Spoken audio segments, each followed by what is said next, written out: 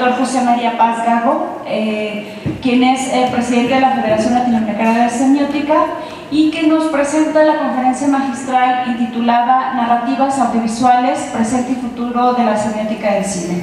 Bueno, pues muchas gracias y buenos días a todos.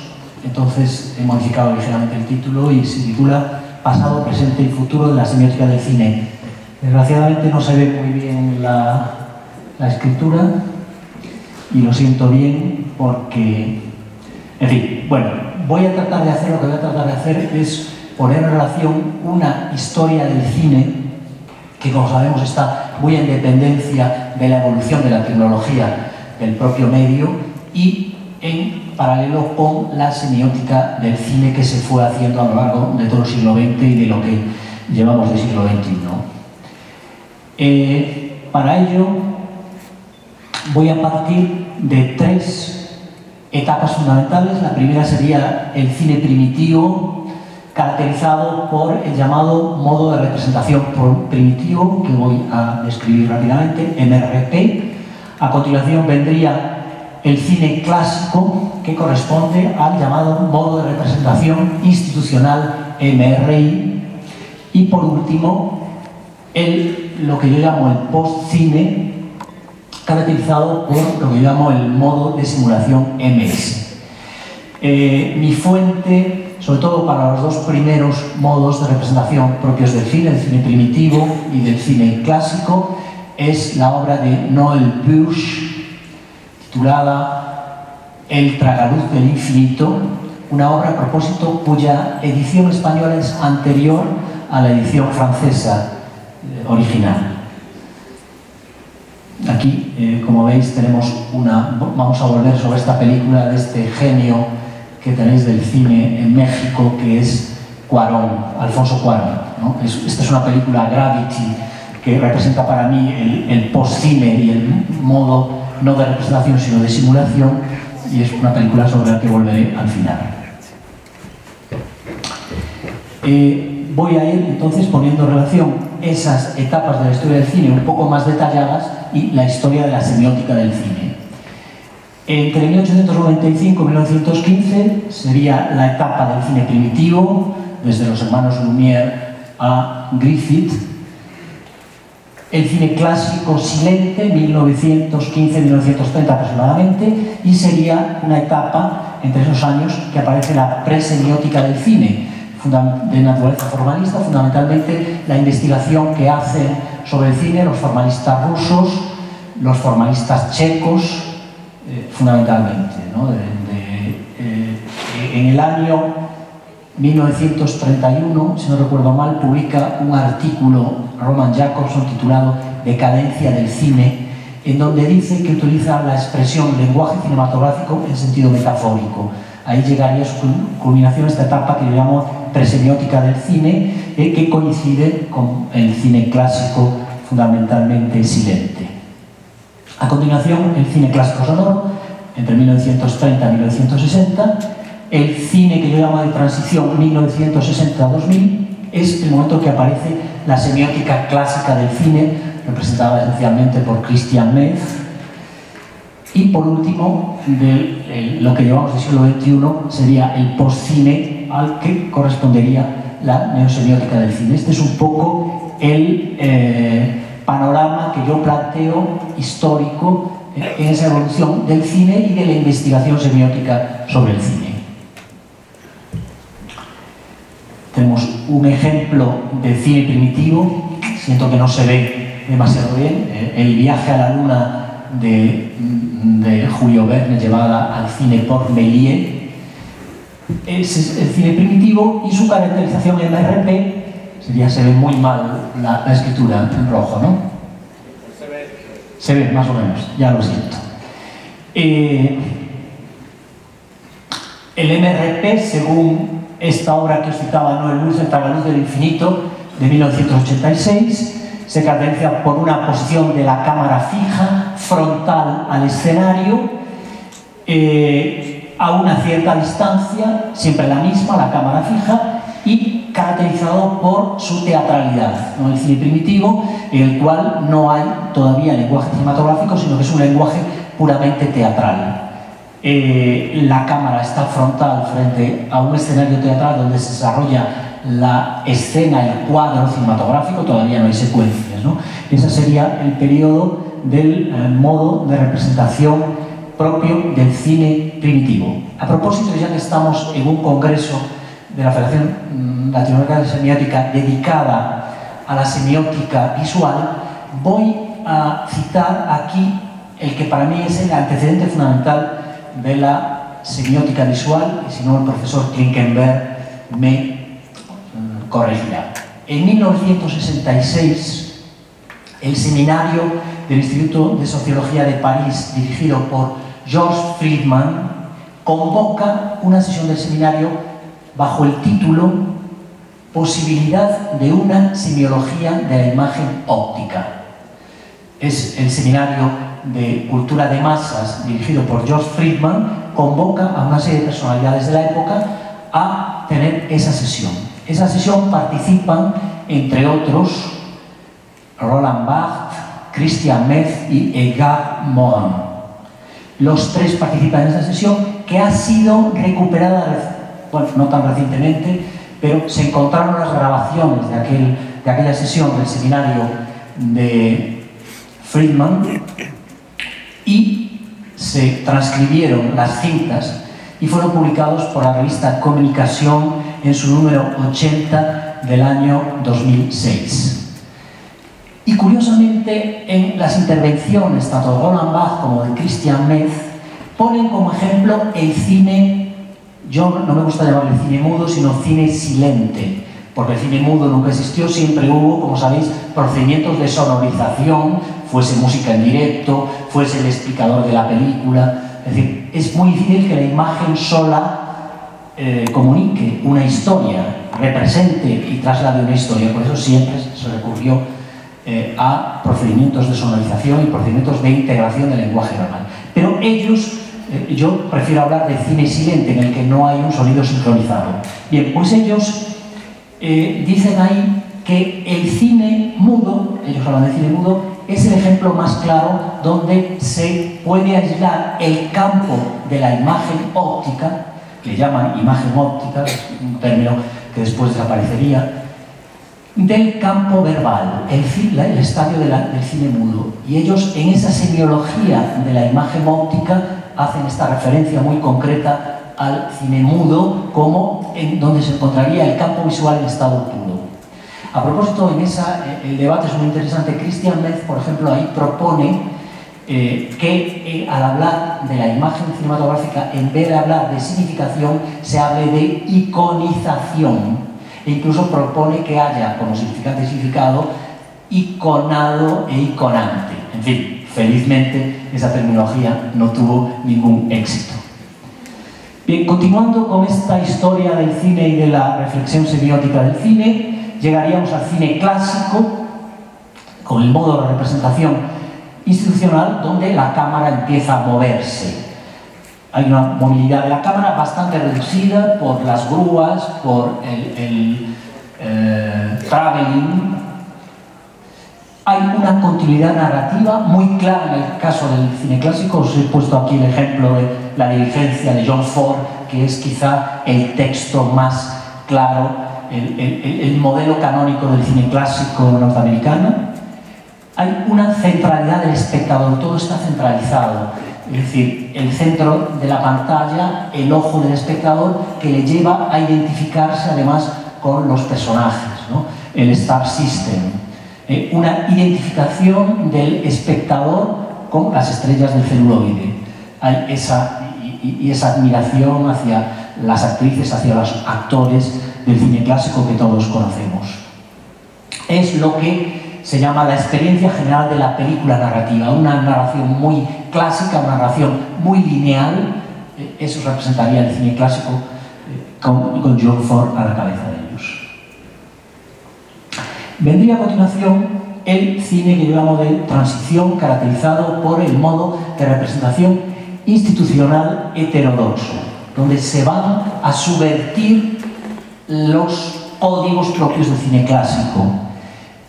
Hay, se produce esa crisis de la representación la movilidad de la cámara es diferente del cine clásico, que es una narrativa muy clara, muy lineal en muchas ocasiones. No, aquí va a haber una movilidad de la cámara creativa. Os he puesto ahí de fondo una película de Woody Allen, La rosa púrpura del, del Cairo, donde se da ese diálogo con el cine primitivo, en blanco y negro. Eh, la continuidad narrativa no es clara, sino que es confusa. El, enunciador de la película, sea el director, eh, operadores de cámara, montadores, todo ese complejo eh, mecanismo enunciativo, pues va a tratar de confundir al espectador, va a tratar de hacerle pensar, de hacerle tener un proceso de recepción mucho más creativo, mucho más que exige mucho más de él esa centralidad ya no es tal, es una centralidad desviada. Eh, hay muchos personajes eh, con los que necesariamente no nos identificamos. Pensemos en el cine de Tarantino, ¿quién se identifica con esos protagonistas de sus películas? hay de todo en La Mía del Señor, pero no es tan evidente. Y muy característico es este cine de transición, caracterizado por el modo de representación eh, clásico, institucional, heterodoxo, estaría esta autorreflexividad el metacine como nos representa esta película de Woody Allen. Pasaríamos ya al... Aquí sí que no se lee nada. Eh, el postcine. Pues a ver si leo yo algo. Bueno, lo tengo muy fácil porque lo tengo aquí.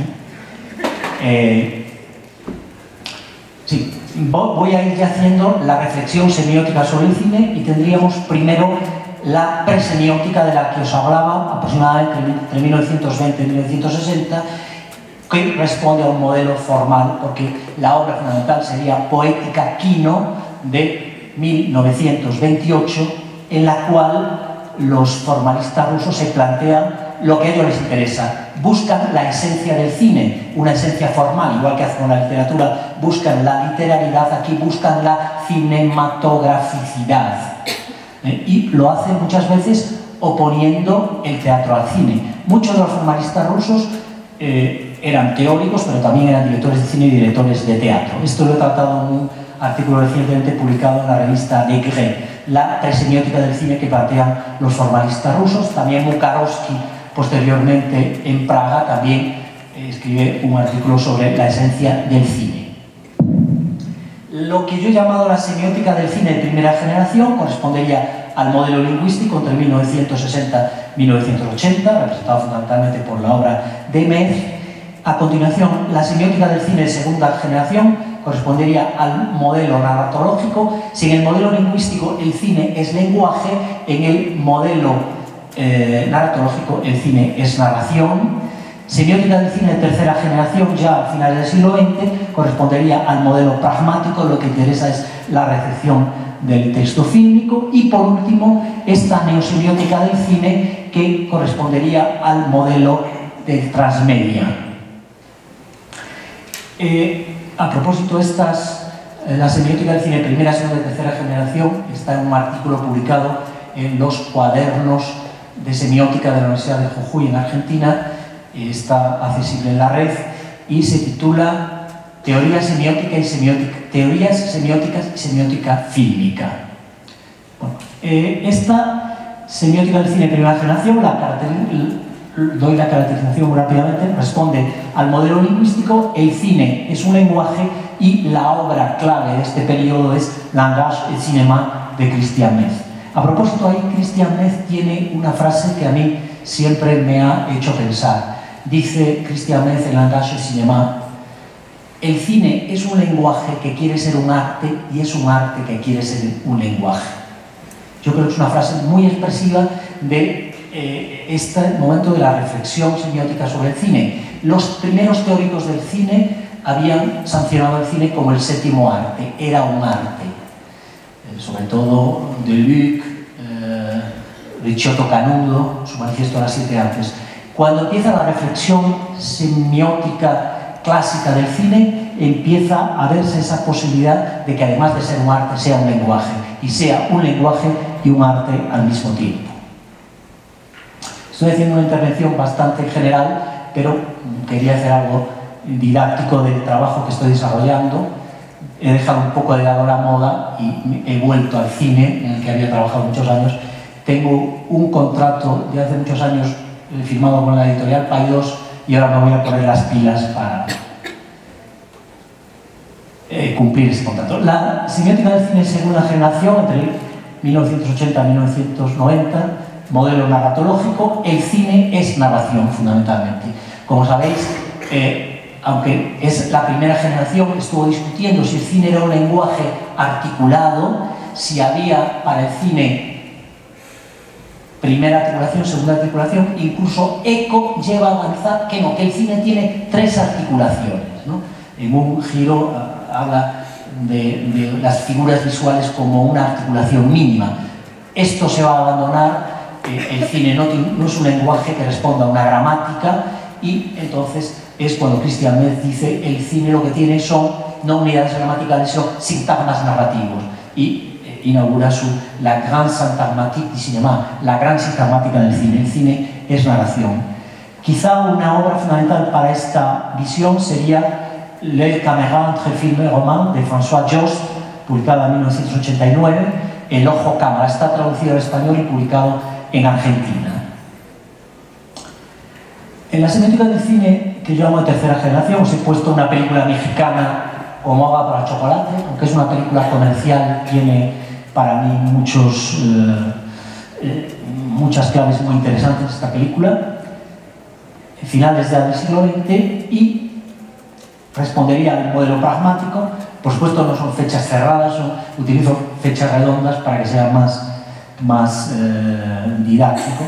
Aquí el cine es comunicación, se, se interesa por el, la recepción, cómo el espectador tiene esa experiencia del de la recepción cinematográfica, se habla de que es una experiencia muy semejante a la del sueño, por eso se pide que el cine sea una sala a oscuras, donde estamos entrando dentro de la, de la historia de la película, cómo es esa recepción, cómo es la identificación entre el proceso iniciativo y el proceso de recepción. Yo he creado, ayer hablaba de que los semióticos nos gusta crear palabrejas, pero que son términos que tratan de dar respuesta a las cuestiones y a los objetos a los que nos acercamos. Yo he propuesto el concepto de cinerador, porque se ha hablado en la teoría semiótica del cine mucho de narrador cinematográfico.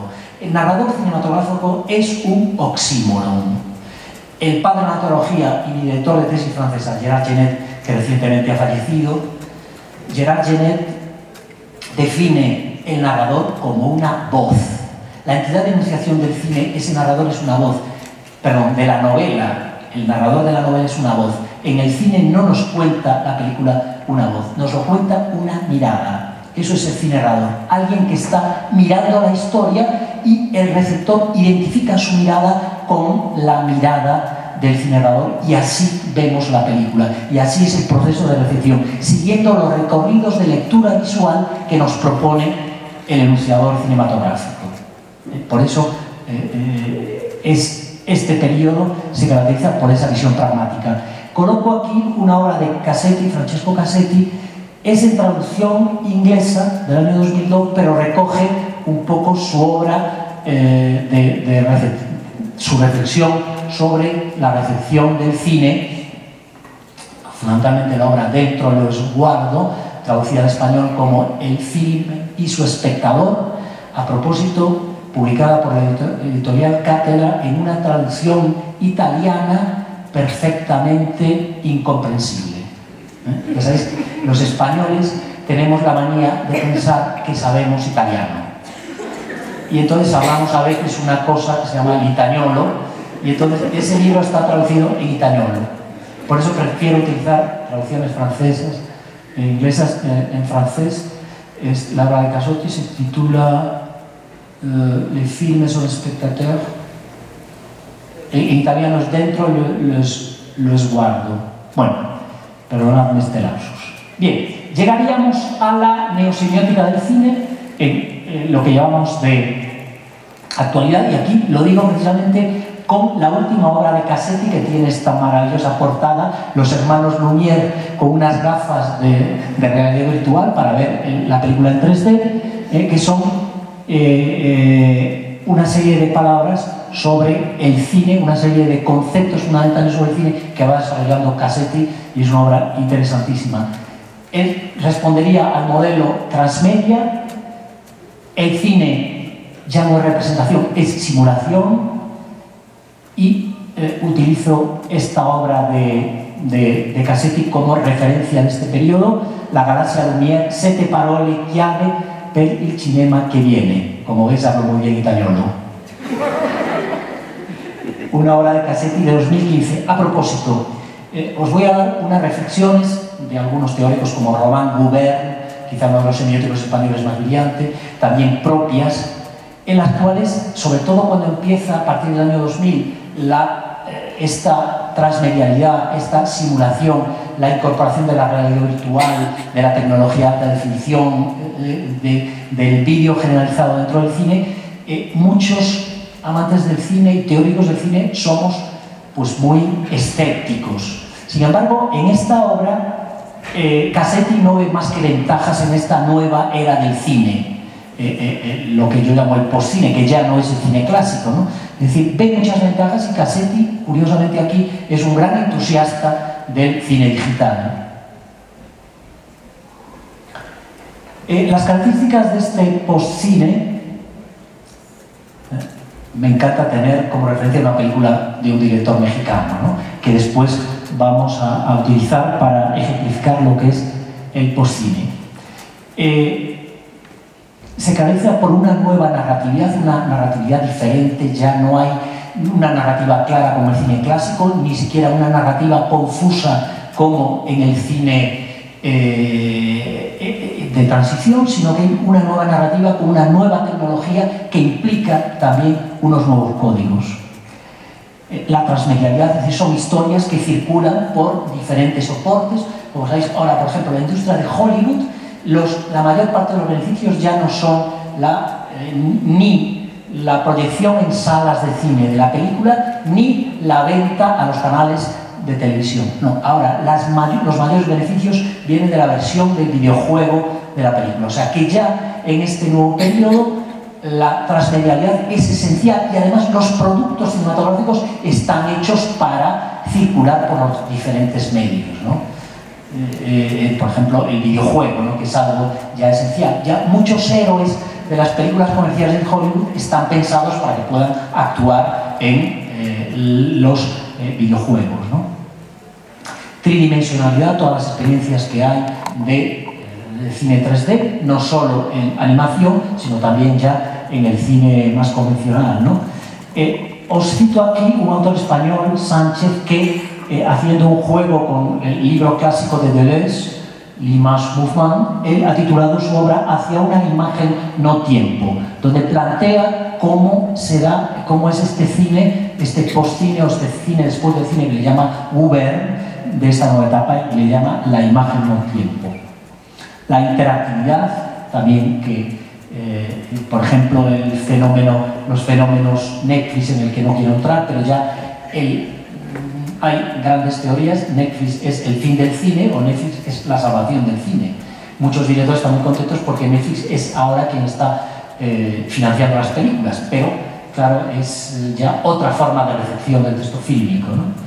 Nueva experiencia del espectador, totalmente diferente. Y después vamos a ver un ejemplo justamente con eh, Gravity, vamos a ver cómo es esa nueva experiencia del espectador, ¿no?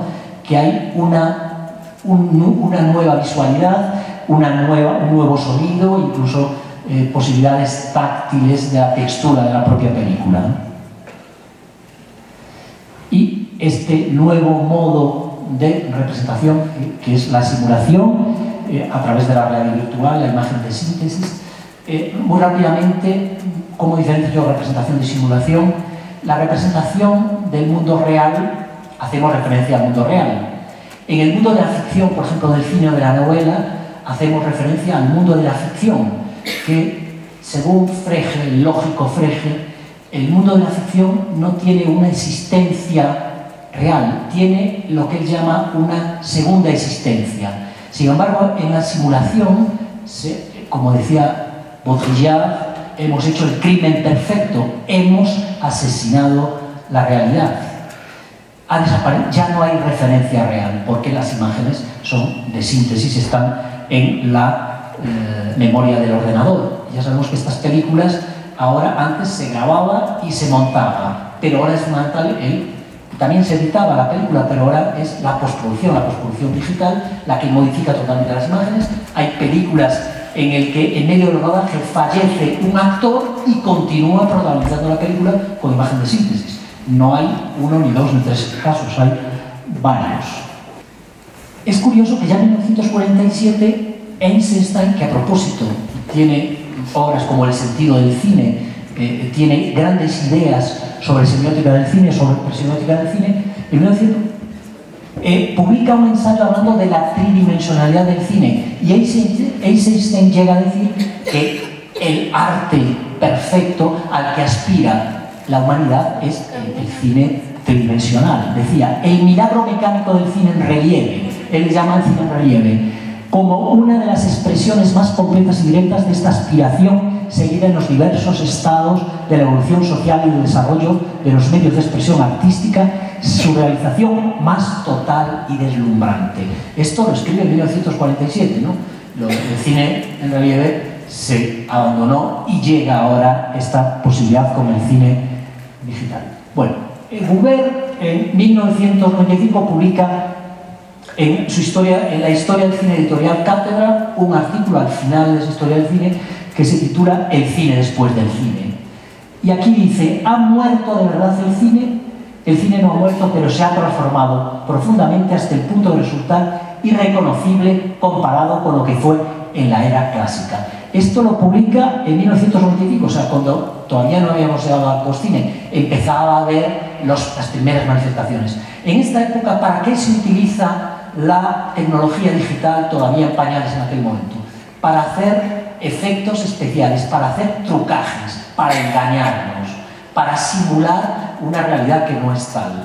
Después ya esta tecnología se incorpora masivamente al cine y lo que Weber llama el cine después del cine. Dice que proporciona un empobrecimiento estético debido a la generación de la tecnología que él llamaba de momento videográfica. Una tecnología de transición en la que empiezan a utilizarse imágenes digitales procesadas por ordenador para lograr trucajes y efectos visuales, o sea, para engañarnos. Es un paso hacia la simulación. Eh, como veis, pues está empezando ese proceso y aquí ve en ese cine una mediocridad estética 20 años más tarde, Cassetti ya es un convencido. Dice, esto es realmente cine como arte, puede ser una nueva etapa del cine como arte. En fin, eso, en gustos, se pintan colores. Bueno, yo publiqué en 2004, es una conferencia dada en el Congreso de la Asociación Española de Semiótica, que se titulaba El cine ha muerto, viva la realidad, punto suspensivo, virtual. Y ahí también, ya un poco más adelante, yo también utilizo efectos especiales, como veis, eh, donde ya un poco más avanzando el tiempo y ya esa tecnología se ido incorporando, decía yo ahí, se produce así la aparición a principios del siglo XXI de un nuevo y todavía polémico formato, el cine digital, que resolverá todas aquellas limitaciones del vídeo analógico, consiguiendo una nitidez y una textura muy semejantes a las del celuloide. Eso fue uno de los grandes desafíos de la tecnología digital. Lograr la misma visualidad, la misma textura que el cine clásico, que el celuloide.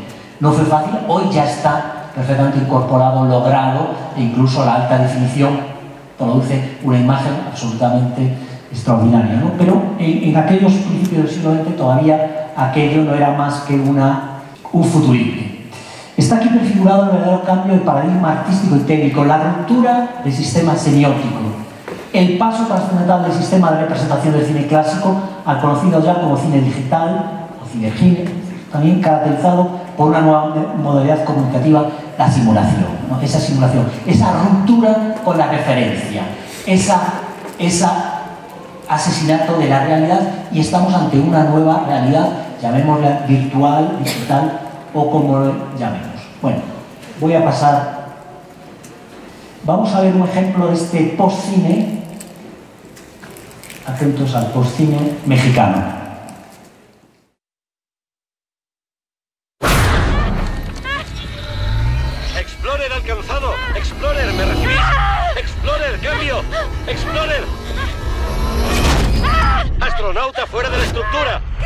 Stone está fuera de la estructura. Doctor Stone, suéltese. Tiene que soltarse. Si no se suelta, el brazo la va a arrastrar muy lejos. Céntrese en vivo. Tiene que concentrarse. Estoy perdiendo. Yo no podré seguirla. Tiene que soltar. ¡Vamos! ¡Lo estoy intentando!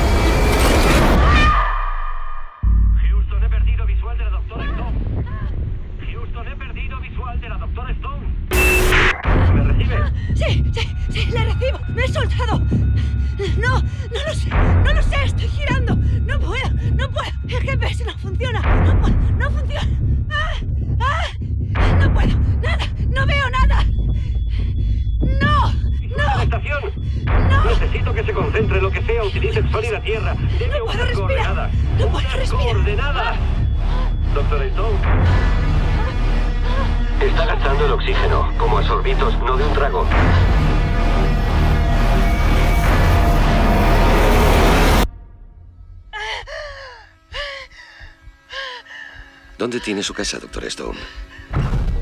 Lake Zurich, en Illinois. Hay alguien ahí abajo mirando hacia arriba, pensando en usted.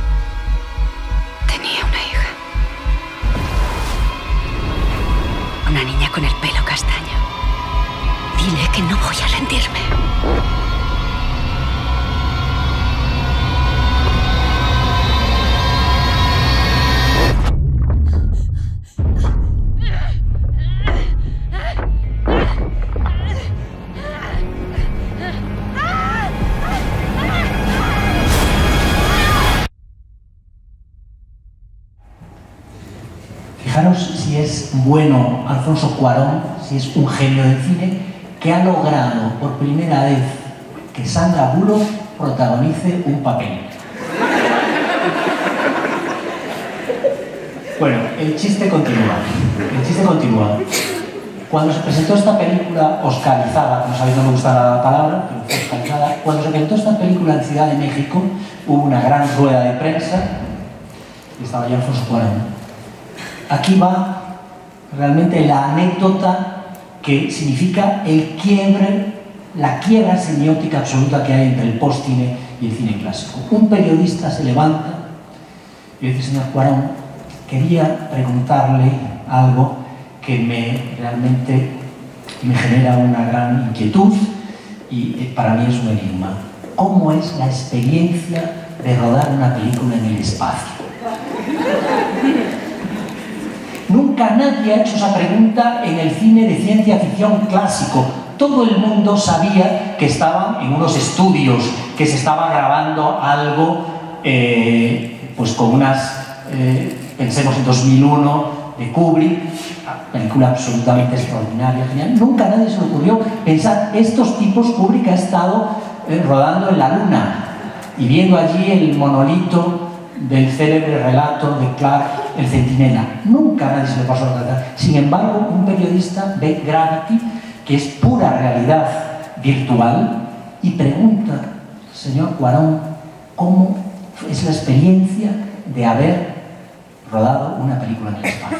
O sea, esto, la realidad ha desaparecido y hay otra realidad, le digo, llámese virtual o llámese como se llame. Si tenemos tiempo, quería poneros otra película de realidad de post-cine. Esta es la primera película china de realidad, perdón, tridimensional, de un cómico chino. Y es una versión nada más y nada menos que Don Quijote, de Don Quijote de la Mancha. La leyenda de Don Quijote de 2012.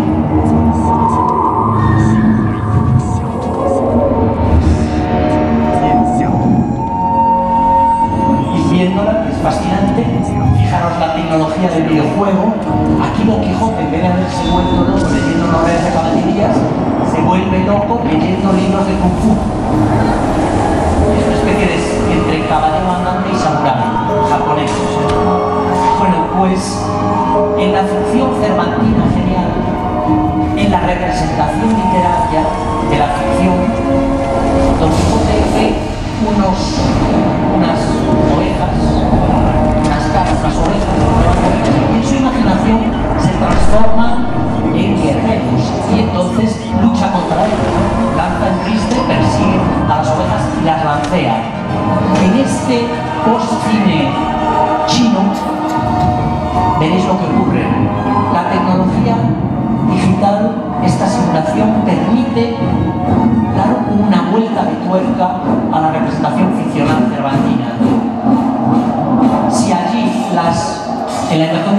de Don Quijote las ovejas se convierten en guerreros, fijaros lo que pasa aquí.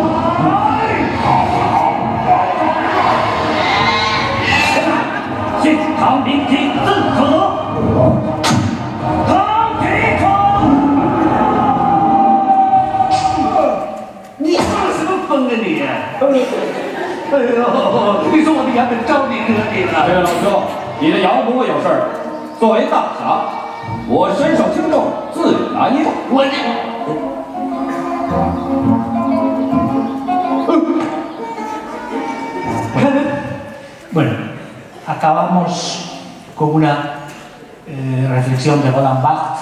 Los que me conocéis sabéis que soy de la segunda época de Bach, pero profundamente bartesiano. El placer del texto. Ahí se refiere, eh, como sabéis, Roland Barthes no escribió prácticamente de cine, no habló de cine y no le gustaba el cine. Su pasión dentro de las artes visuales era la fotografía y Máximo citaba el otro día La Chambre de Fleur, La Cámara Lúcida, es un gran libro de fotografía. Pero sin embargo, en el placer del texto, poca gente se ha dado cuenta que es un libro sobre el cine. El verdadero placer sensual y sexual que encontramos en el texto nos lo proporciona el cine. Y ahí dice eh, Bach opone representación a figuración. No voy a entrar en el término figuración, pero sí que eh, Bach dice que en el cine no hay representación. Dice, el modo de aparición del cuerpo erótico en el perfil del texto. El cine, a través de la figuración, nos proporciona el modo de aparición del cuerpo erótico en el perfil del texto. El film, dice Bach, será siempre con toda seguridad figurativo, por lo cual siempre vale la pena hacerlo, incluso si no representa nada. El caso del postcine no representa nada. Y acaba así el placer del texto diciendo que el texto fílmico cumple en grado máximo las condiciones de la escritura del placer textual y se está refiriendo al placer textual del espectador. Quizás este postcine, este cibercine, cine digital, una quiebra artística y semiótica acabe, como Cassetti lo está diciendo últimamente, provocándonos ese placer que todos hemos sentido en esa gran fábrica de sueños que es el cine, en el que todos hemos soñado tanto y hemos disfrutado tanto. Muchas gracias. Estaba viendo que lo que todos sabemos también, que la realidad virtual, precisamente el tema que, que me interesa, es lo del de espacio personal. O sea, la tiene que, tiene que hacer que nuestro cuerpo esté en otro cuerpo, lo que se llamaría inmersión, la, forma de inmersión. Creo que ese es el punto clave, ¿no? O sea, de la, de la fantasmagoría, básicamente. O sea, el hecho que tú este, puedes identificarte no solamente con, con, una cámara que se mueve en traveling, sino con, con un dispositivo óptico mucho más sofisticado que puede reproducir eh, movimientos imposibles también del cuerpo. Ahí está. O sea, lo fantástico. O sea, el cuerpo tuyo se, convierte en un cuerpo fantástico. Eh, en el, o sea, es una super inmersión, una hiperinmersión, correcto. Mientras que la inmersión de la, del cine, supongamos, de, de, no sé, de, de tú quieras, cineasta, que tú quieras, Tarkovsky, por ejemplo, ¿no? Es una inmersión todavía no tan desarrollada. Sin embargo, lo que está pensando yo es que, digamos, hay este, films eh, anteriores, quizás con una narrativa distinta a la, a la de Hollywood, a la espectacular, donde hay una inmersión diferente, o sea, que te permite entrar y salir de la cámara, lo cual te da un punto crítico, el, o sea, el distanciamiento. Y creo que el distanciamiento es muy importante, creo que nosotros como semiólogos debemos estar atentos cuando hay embrague y desembrague, o sea, lo importante. O sea, si uno no logra Es una estrategia, bueno, bueno, pues eh, efectivamente, bueno, por una parte, no me estoy refiriendo a la realidad virtual inmersiva en la que tú, mediante una serie de gafas, guantes y tal, tú entras en esos mundos, que eso será, el futuro de, de este tipo de cine. Pero efectivamente me estoy refiriendo a cómo se crean imágenes de síntesis, realidades virtuales que no, que no existen. ¿no? Ya sabéis que en los rodajes de este tipo de cine los fondos son eh, azul oscuro, negro, verde oscuro y sobre ellos se ponen los paisajes. ¿no? Eh, curiosamente no hay nada bajo, no hay nada nuevo bajo el sol. Citaste la palabra fantasmagoría. Las fantasmagorías era lo que hacía Méliès, el viaje a la luna. Empezaron a, empezó el primer cine de ficción fue lo que hacía el que a propósito en vez de ser fotógrafo como eran los hermanos Lumière o la mayor parte de los primeros cineastas él era mago, prestidigitador y utiliza para sorprender al público el cine, ¿no? Eh, son trucajes de magia. O sea que empieza, esas fantasmagorías que has citado son justamente lo que se está haciendo hoy con la realidad digital, digital ¿no? y sorprendes mucho al público, tratas de hacerlo.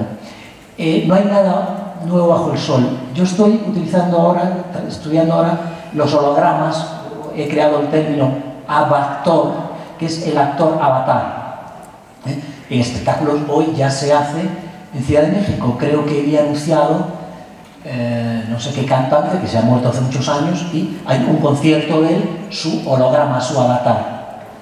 Bueno, pues es que resulta que los hologramas son del siglo XVIII, XIX. O sea, hay procedimientos ópticos que permiten, eh, con unas, unas pantallas de cristal transparente, reflejar fotográficamente a una persona, ¿no? Y resulta que los hologramas que se están utilizando ahora en espectáculos teatrales, por ejemplo, tienen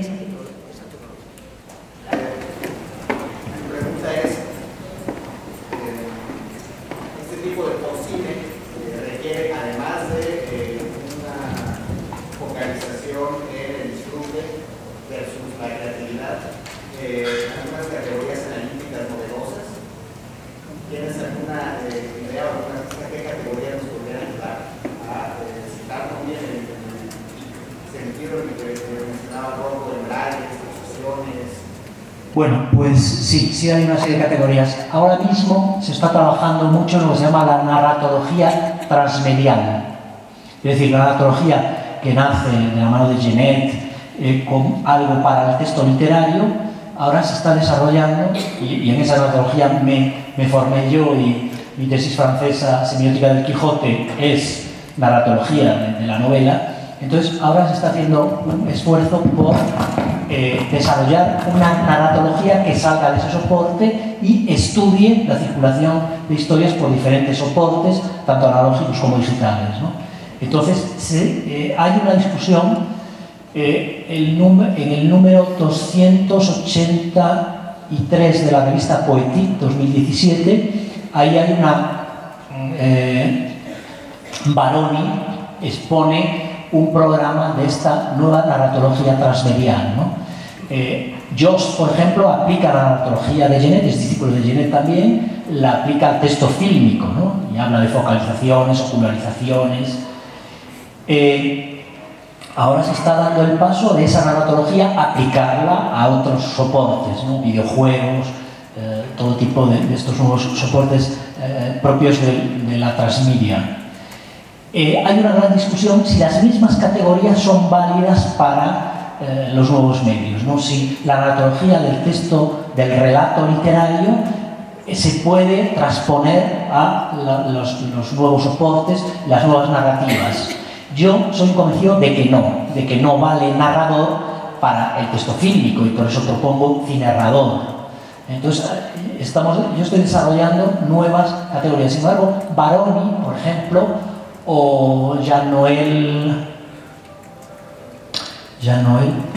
Bueno, sí. Otro, otro de los uh, que están proponiendo esta narratología transmedial son partidarios de que no, de que hay que conservar la terminología de la narratología eh, literaria. ¿no? Y entonces hay esa polémica. Pero sí que se está desarrollando toda esta metodología de la eh, narratología transmedial. Yo creo que necesita nuevos, ¿eh? por ejemplo, he propuesto eh, el que te decía de cinerador, he propuesto el abactor, el actor avatar. Eh, he propuesto, por ejemplo, es, que es un término que no he conseguido traducir al español, porque la fusión en los espectáculos teatrales que se producen hoy, transmedia, con gran eh, aportación visual de cine, de, tecnología de vídeo, se, produce ahí una fusión de escena teatral y pantalla. Entonces, en, en francés es pantalla es écran y escena es escena. Yo he creado el concepto de écran. Écran, donde se fusiona pantalla y escena teatral. Entonces, yo estoy proporcionando nuevos términos, nuevos útiles operativos para aplicar a estos análisis. Pero ya digo, hay, eh, la escuela francesa prefiere mantener la tecnología de la, de la narratología literaria. Gracias. Eh, siempre es muy útil tener una periodización como esta, donde hay una, una correspondencia entre el desarrollo del cine. ¿De dónde me habla? De aquí. Laura, Laura Y quisiera solo plantearte dos terrenos que seguramente no da tiempo de desarrollar, pero que creo que, es, que, son muy importantes. Por una parte, como es la reunión de la Federación Latinoamericana, eh, esta relación entre el desarrollo del cine y la teoría y la teoría semiótica en Latinoamérica. Bueno, pienso que hay varios problemas. Hay un aislamiento entre nosotros mismos, ¿no? Tú mencionas a un Sánchez que creo que no ha llegado a México, eh, la ausencia de traducciones de lo que se hace en español a otras lenguas, ¿no? ¿Eres, ¿eres Lauro? Sí. Ah, ahora te reconozco. Hola. Lauro y yo coincidimos en estas discusiones muchas veces, o unas cuantas. Sí. La traducción, que no hay, ¿no? Estamos, podemos seguir muy bien tu argumentación porque estamos familiarizados con todos estos autores europeos, pero seguramente no hay ninguna traducción de ningún autor, tú mismo o quien sea, al inglés, al francés. Y el problema del abismo entre ciencias sociales y humanidades que se da muy fuerte en Latinoamérica. Y un segundo terreno, bueno, que es el Congreso de la Semiótica Visual, pero básicamente, pero hay un giro sonoro en los estudios del audiovisual. El estudio del sonido en cine y en audiovisual ha ocupado un porcentaje muy pequeño y es muy reciente, 3 4 años que empieza el Congreso de Música Cine de sonido. Y, lo menciono porque ahora que termino, ¿no? Presentas este tráiler eh, doblado en España y en Latinoamérica esto nos resulta, ¿cómo decir?, chirriante, para decirlo muy amablemente, ¿no? Y, por ejemplo, ya que, eh, eh, pues, se acuerdan, ahora que se estrenó en España Roma, se presentó subtitulado. Entonces, cuando alguien dice vengan, aparece venido, ¿no? Entonces, Cuarón mismo protestó. Este es un problema de, la parte del sonido, porque están, ha habido un imperialismo narratológico en los estudios de cine y empieza a haber la utilización de categorías de análisis de música para estudiar narrativa, puesta en escena y montaje. Son dos campos interesantes. Bueno, pues sí, tienes razón y yo creo que a esas preguntas respondes tú mejor que yo. Eh, es cierto que, claro, vamos a producir teoría y producir ideas originales es muy difícil. El mundo académico está dominado, mm, cada vez menos, pero por el mundo anglófono, el mundo francófono mucho menos todavía. Yo, por ejemplo, ahora prácticamente publico todo en francés. ¿eh? Es un mundo, bueno, es el mundo en el que yo me muevo bastante. En la revista de Grey, la revista Grey tiene los máximos índices de impacto, eh, revista belga dirigida por el profesor André Elbo, y, y también por eso yo lo publico ahí, porque tienes que ir a revistas de impacto. Eh, es muy difícil, pero tenemos que hacerlo. Ha insistido los días que estuvo aquí la profesora Neila Pardo, como directora científica de la FES, tenemos que empezar a eh, proponer nuestras teorías que ya existen, nuestros términos, nuestras propuestas y difundirlas y que lleguen al mundo anglófono y al mundo francófono, ¿no? que son a veces, sobre todo el anglófono, los líderes del tema. Es un esfuerzo que hay que hacer, que tenemos que hacer todos. Eh, la historia nos va dando razón.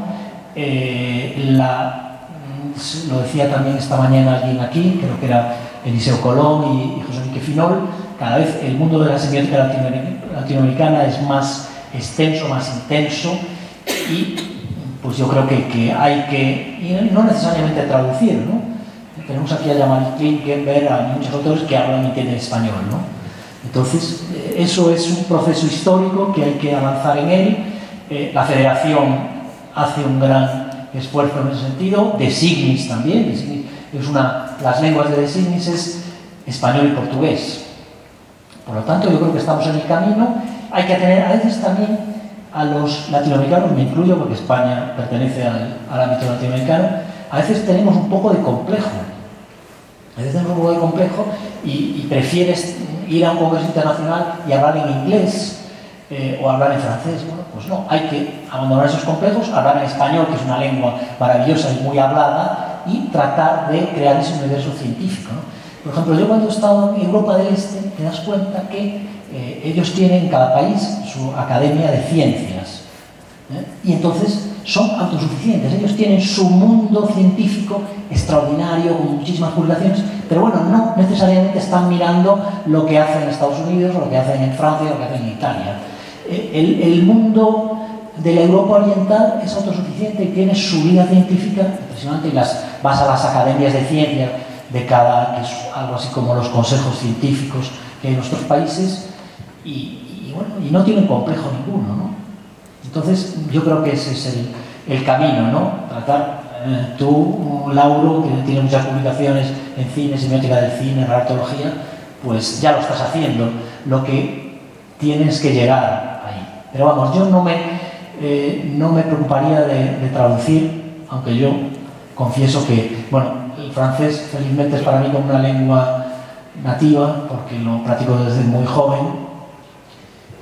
Y, el sonido es cierto, también, igual que hablamos de imagen digital, hay sonido digital y cada vez es más importante. ¿no? Aquí en Gravity, por ejemplo, los efectos sonoros son fundamentales. ¿no? Nunca veríamos esa secuencia de terror en el espacio sin todos esos sonidos del choque de los meteoritos contra la nave. ¿no? ese, sonido digital de alta definición ayuda mucho también a que llegue la historia.